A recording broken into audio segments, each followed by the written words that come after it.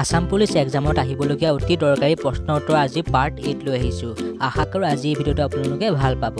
আজি এক নম্বৰ প্ৰশ্নটো হৈছে অসমত টেলিফোন আৰু টেলিগ্ৰাফ সেৱা কেতিয়া আৰম্ভ হৈছিল? ইয়াৰ উত্তৰটো হৈছে এইটিন এইট্টি ছিক্স আজি দুই নম্বৰ প্ৰশ্নটো হৈছে অসমৰ ক্ষুদ্ৰতম জিলাখনৰ নাম কি? ইয়াৰ উত্তৰটো হৈছে হাইলাকান্দি। আজি তিনি নম্বৰ প্ৰশ্নটো হৈছে অসম সাহিত্য সভাই প্ৰকাশ কৰা প্ৰথম অসমীয়া অভিধানখনৰ নাম কি? ইয়াৰ উত্তৰটো হৈছে চন্দ্ৰকান্ত অভিধান। আজি চাৰি নম্বৰ প্ৰশ্নটো হৈছে বৰ্তমান নগাঁৱৰ পুৰণি নাম কি আছিল? ইয়াৰ উত্তৰটো হৈছে খাগৰি জান আজি পাঁচ নম্বৰ প্ৰশ্নটো হৈছে প্ৰথম অসমীয়া উপন্যাসখনৰ নাম কি? ইয়াৰ উত্তৰটো হৈছে ভানুমতী। আজি ছয় নম্বৰ প্ৰশ্নটো হৈছে শ্ৰেষ্ঠ সংগীত পৰিচালনাৰ বঁটা বিজয়ী প্ৰথম অসমীয়া চলচ্চিত্ৰখনৰ নাম কি? ইয়াৰ উত্তৰটো হৈছে চামেলি মেমচাপ আজি সাত নম্বৰ প্ৰশ্নটো হৈছে ভাৰতৰ তেত্ৰিছতম ৰাষ্ট্ৰীয় খেলখন ক'ত অনুষ্ঠিত হৈছিল? ইয়াৰ উত্তৰটো হৈছে অসমত। আজি আঠ নম্বৰ প্ৰশ্নটো হৈছে গড়গাঁৱৰ পৰা ৰংপুৰলৈ ৰাজধানী কোনে তুলি নিছিল? ইয়াৰ উত্তৰটো হৈছে ৰুদ্ৰসিংহ। আজি ন নম্বৰ প্ৰশ্নটো হৈছে বুদ্ধি স্বৰ্গনাৰায়ণ নাম কাক দিয়া হৈছিল? ইয়াৰ উত্তৰটো হৈছে প্ৰতাপ সিংহ। দহ নম্বৰ প্ৰশ্নটো হৈছে বক্সাৰ যুদ্ধ কেতিয়া হৈছিল? ইয়াৰ উত্তৰটো হৈছে ছেভেণ্টিন ছিক্সটি ফ'ৰ আজি এঘাৰ নম্বৰ প্ৰশ্নটো হৈছে বংগদেশৰ প্ৰথমগৰাকী গভৰ্ণৰ জেনেৰেল কোন আছিল? ইয়াৰ উত্তৰটো হৈছে ৱাৰেন হেষ্টিংছ। আজি বাৰ নম্বৰ প্ৰশ্নটো হৈছে ব্ৰহ্মপুত্ৰ উপত্যকাত কেতিয়াৰ পৰা ৰে'ল সেৱা আৰম্ভ হয়? ইয়াৰ উত্তৰটো হৈছে এইটিন এইট্টি ফ'ৰ আজি তেৰ নম্বৰ প্ৰশ্নটো হৈছে অসমৰ কৰিমগঞ্জত কেতিয়া প্লাইউড কাৰখানা স্থাপন কৰা হৈছিল? ইয়াৰ উত্তৰটো হৈছে নাইনটিন ছেভেণ্টিন ঊনৈছশ সোতৰ চনত। আজি চৈধ্য নম্বৰ প্ৰশ্নটো হৈছে প্ৰথম চিপাহী বিদ্ৰোহ ক'ত আৰম্ভ হৈছিল? ইয়াৰ উত্তৰটো হৈছে মিৰাট। আজি পোন্ধৰ নম্বৰ প্ৰশ্নটো হৈছে বাগৰুম্বা নৃত্য কাৰ হয়? ইয়াৰ উত্তৰটো হৈছে বাগৰুম্বা নৃত্য বড়োসকলৰ হয়। আজি ষোল্ল নম্বৰ প্ৰশ্নটো হৈছে ঊনৈছশ পঁয়ত্ৰিছ চনত কোনখন চলচ্চিত্ৰই মুক্তি পাইছিল? ইয়াৰ উত্তৰটো হৈছে জয়মতী। আজি সোতৰ নম্বৰ প্ৰশ্নটো হৈছে মাধৱদেৱৰ ক'ত জন্ম হৈছিল? ইয়াৰ উত্তৰটো হৈছে লেটেকু পুখুৰীত। ওঠৰ নম্বৰ প্ৰশ্নটো হৈছে ভাস্কৰ বৰ্মনে হৰ্ষবৰ্ধনলৈ ৰাষ্ট্ৰদূত হিচাপে কাক পঠাইছিল?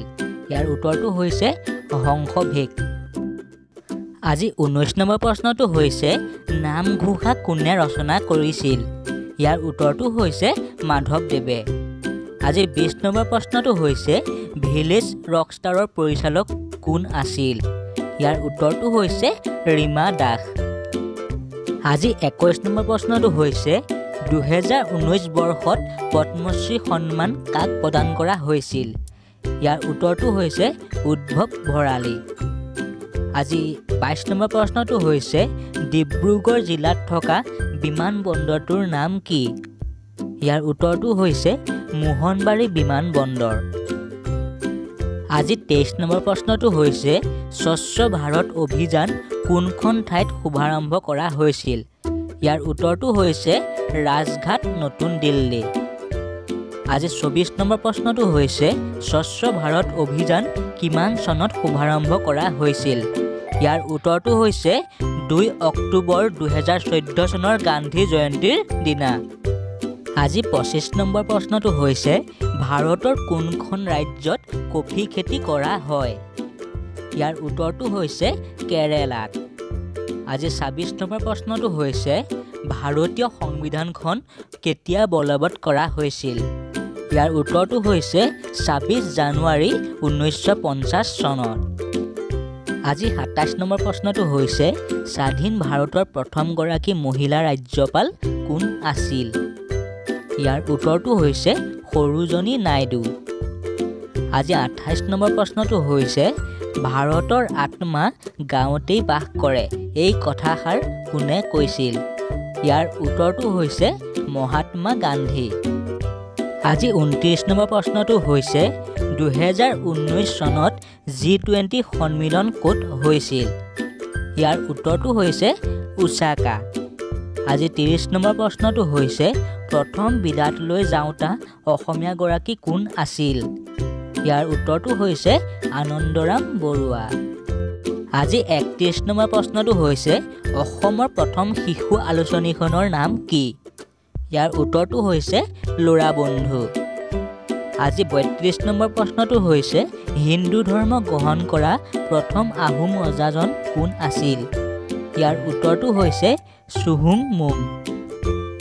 আজি তেত্ৰিছ নম্বৰ প্ৰশ্নটো হৈছে আহোমসকলে অসমত কিমান বছৰ ৰাজত্ব কৰিছিল।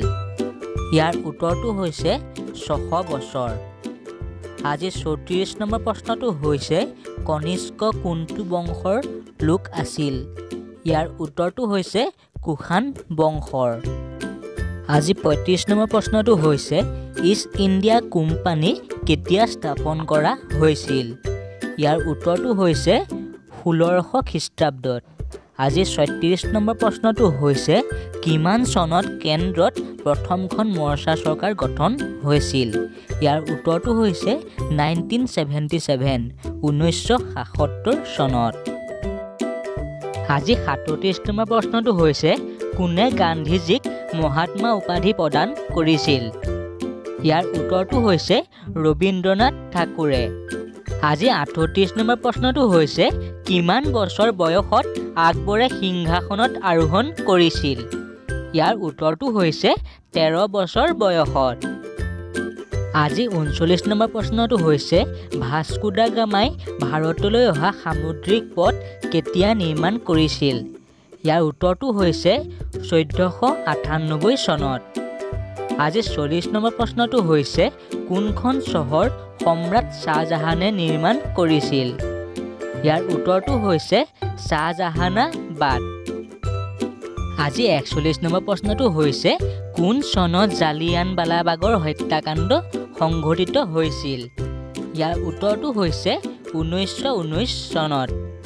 আজি বিয়াল্লিছ নম্বৰ প্ৰশ্নটো হৈছে গৌতম বুদ্ধই ক'ত প্ৰথমবাৰৰ বাবে ধৰ্মোপদেশ দিছিল? ইয়াৰ উত্তৰটো হৈছে সাৰনাথ আজি তিৰাল্লিছ নম্বৰ প্ৰশ্নটো হৈছে ময়ূৰ সিংহাসনত বহা শেষ মোগল সম্ৰাটজনৰ নাম কি? ইয়াৰ উত্তৰটো হৈছে মহম্মদ শ্বাহ। আজি আজি চৌৰাল্লিছ নম্বৰ প্ৰশ্নটো হৈছে কালিদাস কোন শাসকৰ দিনৰ লেখকাৰ আছিল? ইয়াৰ উত্তৰটো হৈছে দ্বিতীয় চন্দ্ৰগুপ্ত। আজি পঞ্চল্লিছ নম্বৰ প্ৰশ্নটো হৈছে কোন চনত ভাৰতৰ ৰাজধানী কলিকতাৰ পৰা দিল্লীলৈ স্থানান্তৰিত কৰিছিল? ইয়াৰ উত্তৰটো হৈছে ঊনৈছশ এঘাৰ চনত। আজি ছয়চল্লিছ নম্বৰ প্ৰশ্নটো হৈছে কোনখন যুদ্ধৰ পাছত ভাৰতত মোগল সাম্ৰাজ্যৰ ভেটি প্ৰতিষ্ঠা হৈছিল? ইয়াৰ উত্তৰটো হৈছে পলাচী যুদ্ধ। আজি সাতচল্লিছ নম্বৰ প্ৰশ্নটো হৈছে আৰ্যসকল ভাৰতলৈ কেতিয়া আহিছিল? ইয়াৰ উত্তৰটো হৈছে খ্ৰীষ্টপূৰ্ব দুহেজাৰৰ পৰা পোন্ধৰশৰ মাজত। আজি আঠচল্লিছ নম্বৰ প্ৰশ্নটো হৈছে মগধ সাম্ৰাজ্যৰ প্ৰতিষ্ঠাতা কোন আছিল? ইয়াৰ উত্তৰটো হৈছে ৰজা বিম্বিসাৰ। আজি ঊনপঞ্চাছ নম্বৰ প্ৰশ্নটো হৈছে আলেকজেণ্ডাৰে কেতিয়া ভাৰত আক্ৰমণ কৰিছিল আৰু তেওঁ কোন ঠাইৰ পৰা আহিছিল?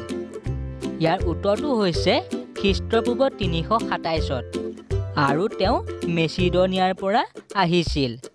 আজি পঞ্চাছ নম্বৰ প্ৰশ্নটো হৈছে মহান মৌৰ্য সম্ৰাট হিচাপে কাক জনা যায়?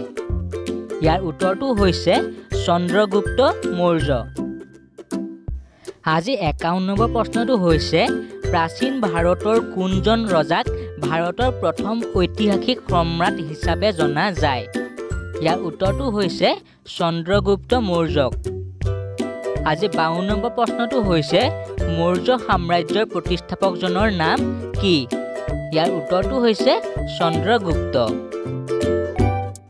আজি তেপন্ন নম্বৰ প্ৰশ্নটো হৈছে গুপ্ত বংশৰ কোনজন ৰজা তেওঁ কাৰ জয়লাভ আৰু সামৰিক অভিযানৰ বাবে বিখ্যাত আছিল?